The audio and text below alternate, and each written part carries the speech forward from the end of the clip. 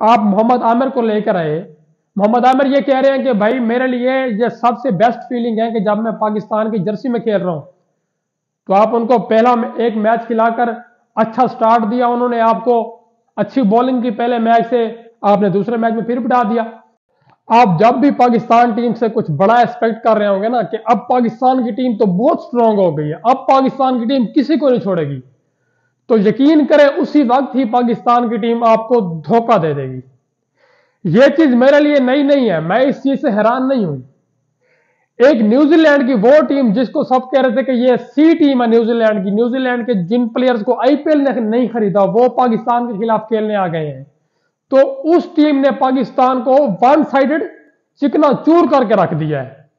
تو اس سب چیز کا ذمہ دار کون ہے؟ دیکھیں، پچھلے میچ کے بعد جب پاکستان نے نیوزی لینڈ کی ٹیم کو نائنٹی رنز کے اوپر ڈھیر کر دیا تھا، اس کے بعد بہت سارے یوٹیوبرز، بہت سارے لوگ یہ چیز کہہ رہے تھے کہ پاکستان کی جو بولنگ اٹیک ہے، وہ دنیا کا سب سے بہترین بولنگ اٹیک ہے اس وقت۔ پاکستان سب کو تیس نیس کر دے گا۔ ورلڈ کپ میں پاکستان کی ٹیم، پاکستان کا جو بولنگ اٹیک ہے، وہ سب کے لیے خطرناک ہوگا۔ بھائی، کون سا خطرناک بولنگ اٹیک یار؟ یہ نسیم شاہ، شاہین افریدی۔ نسیم شاہ گیارہ رن گیارہ رنز، بارہ رنز کی اکانومی سے بولنگ کر رہے ہیں۔ شہین شاہ افریدی چودہ رنز کی بولنگ کی، چودہ رنز کی اکانومی سے بولنگ کر رہے ہیں۔ یار، یہ کون سی ورلڈ کلاس بولنگ ہے؟ کون سے ورلڈ کلاس بولر آپ کے؟ آپ دو ہزار چوبیس میں کھیل رہے ہیں، آپ نائنٹیز کی کرکٹ نہیں کھیل رہے، یہ ٹی ٹوینٹی ہے بھائی۔ آپ کب اپنے آپ کو ٹھیک کرو گے؟ یار، یہ بہت ساری خرابی آپ کے اندر۔ ایک وہ ٹیم نیوزی لینڈ کی جو جن کو لوگ جانتے نہیں ہیں، وہ پلیئر جن کے نام بھی لوگوں نے، بہت کم لوگوں نے سنے ہوئے ہیں۔ وہ پاکستان کو تحس نحس کر کے چلے گئے ہیں۔ اگر ہم یہاں پر بات کریں پاکستان کی بیٹنگ کی، تو اس میں بائیس بالز پر بتیس بتیس رنز کیے ہیں سائی میوب نے۔ ویسے آپس کی بات ہے سائی میوب نے بھی ابھی تک انٹرنیشنل کیریئر میں کوئی پچاس نہیں بنایا۔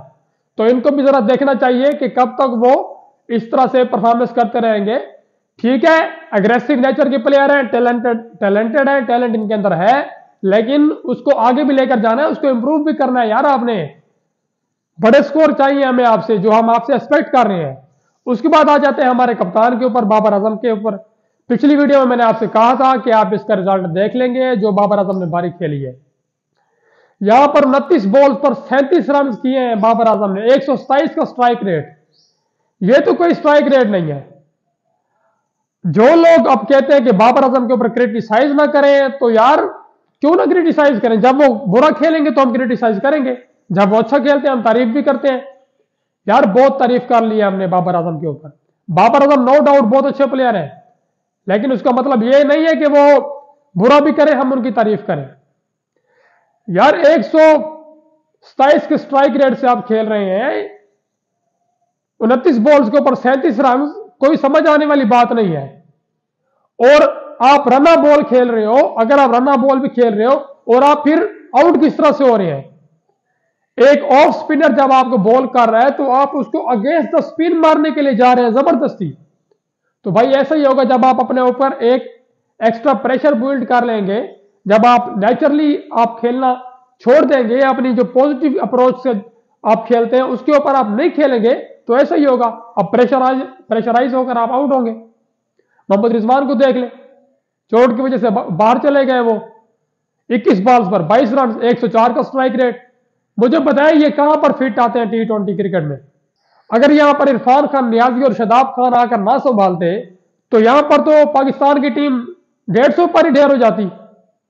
اور وہ جو مقابلہ نیوزی لینڈ نے جیتا ہے اٹھارہویں اوور میں جا کر، وہ پندرہویں یا سولہویں اوور میں انہوں نے ختم کر دینا تھا۔ تو یار یہ کوئی پرفارمنس نہیں؟ ہے یہاں پر تو شکریہ ادا کرنا چاہیے شداب خان کا کہ انہوں نے آ کر چالیس رنز کیے، تیز ترین، اور ان کا ساتھ دیا عرفان عرفان خان نیازی نے۔ بیس بالوں پر تیس رنز کیے انہوں نے۔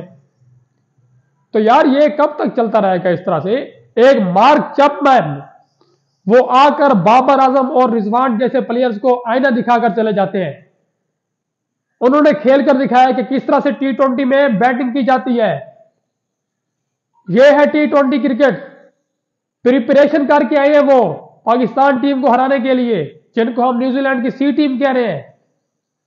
تو بھائی یہ بہت الارمنگ سچویشن ہے پاکستان ٹیم کے لیے۔ شہین شاہ افریدی نسیم شاہ ان کو اپنی بولنگ کا محاسبہ کرنا چاہیے کہ کب تک اس طرح سے چلتے رہیں گے ہم۔ جب نیوزی لینڈ کے جب بھی ہم ان کی تعریف کرتے ہیں کہ نسیم شاہ نے وہ وہ کر دیا آ کر اسی وقت یہ بھائی صاحب بھائی میں تیاری کر کے آیا ہوں پوری۔ تو پی سی بی کو بھی چاہیے ایک سو سنتالیس ریٹ سے کھیلے وہ۔ کب تک آپ اس طرح سے بعد بیالیس بولز پر ستاسی رنز ایک ہی انسان نے تیس نیس کر کے رکھ دیا پاکستان کی بولنگ کو۔ تو یہاں پر بابر اعظم کو بھی کچھ سوچنا چاہیے کہ بھائی جان اگر آپ کپتان ہو تو کپتان ہونے کے ناجائز فائدے مت اٹھائیں۔ ٹیم میرٹ پر کھلائیں۔ آپ محمد عامر کو لے کر آئے۔ محمد عامر یہ کہہ رہے ہیں کہ بھائی میرے لیے یہ سب سے بیسٹ فیلنگ ہے کہ جب میں پاکستان کی جرسی میں کھیل رہا ہوں۔ تو آپ ان کو پہلا ایک میچ کھلا کر اچھا سٹارٹ دیا انہوں نے آپ کو۔ اچھی بولنگ کی پہلے میچ سے آپ نے دوسرے میچ میں پھر بٹھا دیا۔ اماد وسیم کو آپ نے بٹھائی رکھا ہوا ہے۔ یار یہ کیا کیا کر رہے ہیں آپ؟ آپ کیا چاہتے ہیں کہ میرے ارد گرد جو تین چار لڑکے ہیں، بس انہیں کو میں کھلاؤں، ان کے ساتھ ٹیم کو چلاؤں؟ تو بھائی یہ بابر اعظم صاحب، یہ آپ انصاف نہیں کر رہے پاکستان کرکٹ کے ساتھ۔ یہ آپ صرف اپنی انا میں گھسے ہوئے ہیں، اپنی انا کے باہر نکلے آپ۔ اگر پاکستان ٹیم کو اوپر لے کر جانا ہے تو، اگر آپ کو ایک ذمہ داری دی گئی ہے تو اس کو ایمانداری کے ساتھ نبھائیں۔ بہرحال یہ پاکستان کے لیے بہت الارمنگ سچویشن ہے، پاکستانی کرکٹ کے لیے۔ یہ ہم کس طرف جا رہے ہیں تو اس چیز پر نظر رکھنی چاہیے اور اس کو ٹھیک کرنا چاہیے۔